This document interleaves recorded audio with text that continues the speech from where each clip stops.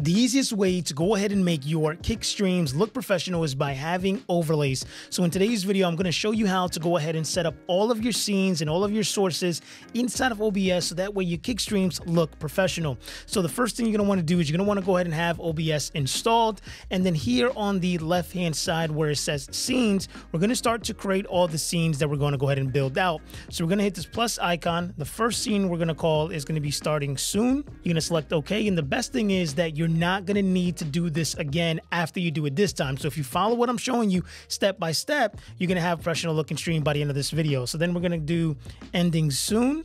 I'm going to hit OK. Then we're going to go ahead and add be right back. Then we're going to go ahead and add countdown timer. We're going to go ahead and add gameplay scene. And then we're going to go ahead and add here are just chatting. Okay, we're gonna take our countdown timer screen and we're gonna push it all the way up right under starting soon. We're gonna go ahead and get our gameplay scene and go ahead and put it under countdown timer. And then we're gonna get our just chatting scene and we're gonna put it under countdown. And then we have our be right back. We'll put it here under gameplay scene. And now this is gonna be our core scenes that we're gonna be able to utilize starting soon, countdown timer, just chatting, gameplay scene, be right back, and ending soon. So now we need our sources. So our sources are going to be the overlays that we're gonna go ahead and and add to our stream. So if you don't have any kind of overlays, I'm gonna go ahead and utilize overlays from Stream Designz. They have tons of animated overlays you can go ahead and utilize. I'm gonna go ahead and utilize the Crimson package. You can go ahead and find a link in the description to this package or to Stream Designz in general. But this is gonna give us everything that we need. Our starting soon, our ending soon, our be right back, even our alerts, our panels, our webcam overlay. It's gonna go ahead and give us our just chatting and our gameplay bar. And then of course you can see here that they're gonna going to be animated. So this is how we're going to be able to go ahead and see the animation we got our countdown timer. We're gonna have our be right back, and everything is gonna be animated. So once you've gone ahead and selected your package, we're gonna come back here to OBS, and we're gonna start with our starting soon. Right, this is gonna be the scene that you play right when you hit go live. Okay, so we're gonna go ahead and hit this little plus icon under sources. We're gonna come to where it says here media source because it is animated. Now, if you're not using animated overlays, you can go ahead and select image to select a non-animated overlay. So for this example, we're going to use animation. Animation is always going to be a little bit more exciting, create more movement, and get people interested in your stream. So we're going to name this starting soon. We're going to hit OK. And now it's going to ask us to go ahead and locate our file. So before you hit browse, when you download a package from Stream Designz, it's going to first come in and look like this, right? It's going to be a zip file. If you are on a Mac, you want to simply double click it. If you are on Windows, you want to right click and select extract. And then it's going to go ahead and create a folder just like this for you, right? So once you have that zip file done and extracted and you have a folder, you'll come to browse. We'll go ahead and come to our desktop and we'll come here to where it says here animated stream overlays crimson. You're to see overlay screens. We'll select that. And now we're to select our starting soon. You'll hit open and now here for this we want to make sure you select loop so that way it keeps going and then you want to select okay now you're going to see here that we have our starting soon screen. So next we're going to want to move over to our countdown timer. And the same thing, you can get the countdown timer over on streamdesignz.com that matches the package that you went ahead and purchase. So we'll hit sources, we'll hit this plus icon, we're going to hit media source again. We're going to name this timer and we're going to press OK. We're going to come in here and hit browse. And now we're going to do is you're going to come back here to the desktop and you're going to see here where it says countdown timer. We'll select that. We'll open it up. And then for this, you don't want to set loop because once the timer finishes, you want it to go ahead and move on to the next scene. So we'll press OK. And the way that you would run this is that you would start your stream with your starting soon, right? And then once you've got everything finalized, you're ready to go, you then can go ahead and transition to your countdown timer that gives you an additional five minutes to go ahead and get things going, get things wrapped up, get people hyped up for your stream. And then from there, you want to go ahead and dive into your just chatting scene, right? So before we set up our just chatting in our gameplay, I want to set up our be right back because this is going to be a great scene in the event that you need to step away, somebody's at your door, you need to go use the restroom, you're able to use this scene here. So we'll come to be right back. We're gonna come to sources. We're gonna hit this plus icon. We're then gonna go ahead and select media source, and we're gonna name this BRB. You'll press OK. And then here on the locate file, we're gonna hit browse. We're gonna come back to our desktop. and then you'll look here for our animated stream overlay. We'll come to overlay screens, and then we'll look for where it says be right back. We'll hit that OK. This is, is you do want to select loop for this that way because you don't know how long you're going to be. And now we have our be right back scene set up. Then let's go ahead and set up our ending soon. So this is a great way for you to be able to put on this screen when you're ending. People can still hear your voice. You can talk to them, and then you can get ready to go ahead and host someone uh, to send over everybody who's watching your stream over to somebody else's stream. So we'll hit ending soon. Come to plus sign under sources. We'll come to media source, and then we're going to name this ending. You'll press OK. We'll locate our file. We'll come to ending soon. And then for this here, you also want to select that loop. And now you can see here that we have our ending soon. So we've set up our starting soon. We've set up our countdown we were set up our be right back and we've end, setting up our ending soon. So now what we want to do is that when you're transitioning between scenes, it's very important that it's not just a basic transition. You want it to have some kind of animation. Again, we really want your stream to look professional. And that's where a stinger transition comes in handy, right? So we're going to go ahead and set that up now. And again, you can get that over at streamdesignz.com. Again, the link is in the description of this video. So I'm going to come ahead here to where it says scene transition. I'm gonna go ahead and switch this over and I'm gonna select this little plus icon. I'm gonna come and select Stinger. And then we're gonna name this Stinger Transition. You're gonna select OK. And now this is gonna ask you to upload your video file. So we'll hit Browse. I'm gonna come back to my desktop and I'm gonna go to the Stinger Transition folder. And now I have my Stinger Transition here. So I've went ahead and added that in there. Now you want to scroll down and you want to hit preview transition because the most important thing that we want to focus on here is this time transition point.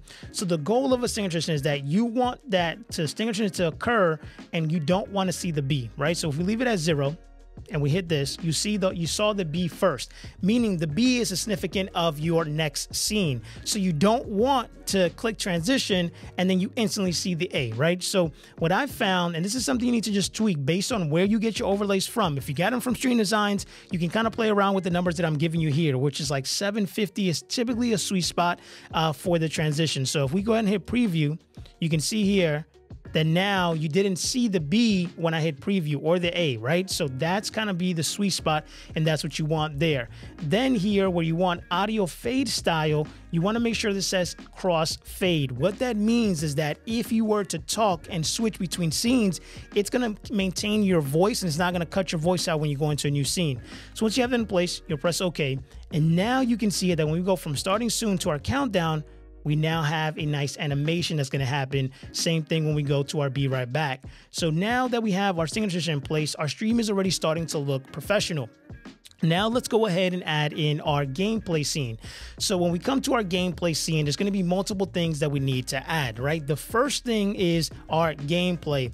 So based on what you use to game, this is going to determine how you do this. So we hit this plus icon, right? The first option is if, if you stream directly on your PC or on your Mac, then you're going to want to go ahead and use screen capture if you're on the Mac, or you want to do window capture if you're on Windows. Once you select that, you're going to leave it as screen capture and then it's going to ask you to decide what you want to go ahead and display. You'll select window capture, and then you can go ahead and select the game that you're going to want to be able to stream. So for this example, I'm going to utilize a console, meaning that I'm utilizing a capture card to be able to bring in my gameplay scene. So I'm going to hit this little plus icon, and if you're using a capture card, what you want to do is you want to select video capture device. I'm going to name this capture card. You're going to select OK. And now it's going to ask you to select a device. So what we want to do is we want to select our capture card that's connected to our console, whether it be your Xbox, your Switch, or your PlayStation 5. So I'm going to go ahead and select here the uh, HD60X. It's going to be my gameplay. You're going to see that my gameplay is going to come in now. So you can see my Xbox dashboard. So I can load up a game. You can see that it's working perfectly fine. So now that I have that in place, so we've added in our gameplay. The next thing that we want to add to the scene is going to be our gameplay overlay bar. So to be able to add that, we're going to hit this little plus icon. We're going to hit media source and this came along with your stream designz overlay package. So we're going to say overlay bar. You're going to select OK. And now we're going to come to locate file. We're going to browse. We're going to come back to our desktop. And then here where it says animated stream overlay, you want to come to where it says overlay screen. And then here you're gonna see your overlay bar. So we'll open that up. You can have it on loop because you want the animation to keep going. And now we have our bar here. It's going to showcase our new follower, our new subscriber, our new donation, and our stream goal, right? And later I'll show you how to go ahead and have the names automatically pop up when those things happen. So typically your overlay bar sits at the top of your stream and you can size it, make it small, make it bigger, or you don't even have to use it if you don't want to. Um, but I'm going to go ahead and add it in there and then I'm going to go ahead and lock it as well. So now we have our overlay bar. The next thing we want to add is going to be our camera. So you can, if you don't have a camera, you don't need to add it. If you do have a webcam, then you can go ahead and add it in here now. So what I'm going to do is that I'm going to go ahead and hit this little plus icon and I'm going to come and select video capture device. Now this is where I'm going to type in camera. I'm going to go ahead and hit okay and then it's going to go ahead and ask me to go ahead and select my camera. So I'm going to go ahead and do that now. I'm going to come here to where it says cam link. And now you can actually see me that I went ahead and popped up here, select OK. And now what I want to do is that I want to resize this, make it smaller and I just want to go ahead and place this where I need it to be. Now, if you want, you can leave it that way, but inside of your Stream Designz package, it did come with a webcam overlay. So we're going to leave our webcam overlay big for just a moment. We're going to come here and I'm going to go ahead and just disable it just for a moment here. And then I'm going to come to this plus icon. I'm going to go to media source. I'm going to name this webcam overlay. I'm going to select OK. And now here you're going to locate your file right? We're gonna come back here to our animated package. We're gonna come to where it says webcam overlays and you have three different options of webcam overlays based on what it is that you want to use. Now, I'd like to go ahead and use without the border, select open, and now we can go ahead and select loop because we do want the animation to happen. And now here we have our webcam border. So now we can go ahead and bring in our camera so we can go ahead and adjust this. So the first thing you want to do is you want to grab your webcam overlay and you want to adjust it and make it the right size for this canvas here. Once you have that in place, what you want to do is you want to either hit uh, Control or Alt on your keyboard or Command on the Mac, and that's going to go ahead and allow you to be able to select both the webcam and the camera. And now what you want to do is a quick little hack is you want to right click, you want to select group selected items, and we're going to name this camera. Once you do that, and the reason why we do this, okay, is because now that it's in a group, now I can resize this and it resizes the camera and the overlay at the same time.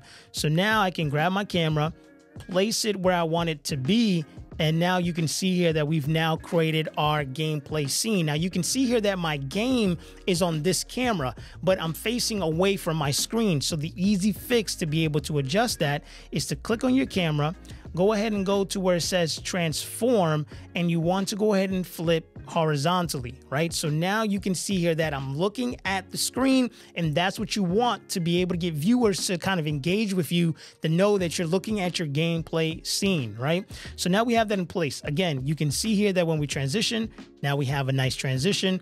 We come back to our gameplay and now we have this all set up. The only other thing that you would want to add to this gameplay scene is going to be your chat to be able to show it on stream. And I'm going to show you how to add that here in just a few moments as well. So now we want to go ahead and move over to our just chatting scene. This is the scene that you're going to utilize either right after your countdown timer or to start engaging with your community before you dive into the game. Um, but it's also a great way to be able to just have breaks in between when games are loading. This is also a scene that comes in a Stream Designz package. So we're going to come to sources. We're going to press plus. We're going to go ahead and select media source. We're going to name this just chatting. You're going to select OK. And then here where it says locate file, we're going to go ahead and go back to our desktop.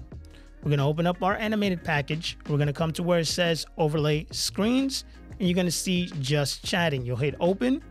You want to select loop so the animation keeps going and now you can see here that we have a just chatting screen. So now you're going to see three different options here, right? So you have here in the center a box to be able to put a webcam. You have a box here to be able to put your gameplay, or you have and you have a box here to put your live chat. This is all based on what you want to do. If you want to put your game here in the center and you want to put yourself small here at the top, you can do that, right? So for this example, I'm going to put myself big in the center. I'm going to put my gameplay on the right, and then we'll have our chat here on the bottom, right? So to be able to do that, we're going to select video capture device. Now, we don't need to add a new one. We can just select camera, select OK. Here's the camera. Now, what I'm gonna do is I'm gonna size this and I'm gonna place it in this box. And then once I have it where I kind of want it, I just want to grab my camera and put it under the just chatting overlay. And now you can see that I have a nice box around me without any kind of spill of my camera. So now that's in place. The next thing we want to do is add our gameplay. So we're going to do the same exact step, right? We're going to hit to select video capture device, and then we're going to add existing and we're going to do capture card. You're going to select OK, and we'll do the same thing. We'll resize this and we'll put this here in this box. And again, this can be your screen share, this can be your gameplay, it's gonna be anything that you want to be able to display there. Um, and then you grab your capture card and you place it under the overlay, and now you can see that everything is looking pretty smooth, right? So we have our camera, and now we have our gameplay. So the only thing other thing that's missing here is going to be our live chat. It's going to be our alerts and it's going to go ahead and be our or our stream labels that we have here in place. That way, when somebody on Kick subscribes, alert comes up. When your chat is trying to talk to you on Kick, all of your things pop up here. So to go ahead and get your Kick chat overlay all set up inside of OBS Studio, go ahead and watch this video right here where I walk you step by step on setting that up so that way you can complete the look and feel of your Kick stream. I'll see you guys in the next video.